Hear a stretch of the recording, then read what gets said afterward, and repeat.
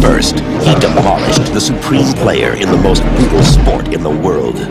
Then, he crushed the competition in a contest nobody plays for kicks. Now, What's the problem?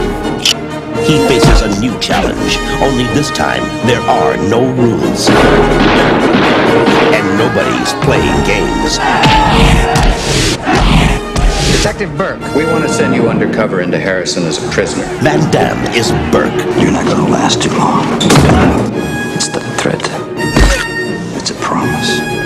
He's got the toughest job a cop can do. Prisoners hate cops more than anything else. It's a hit list. You're a dead man. His cover has been blown. What are you doing in my prison? It's too late. You dead, I said! Your number's next on the list. And the odds are impossible.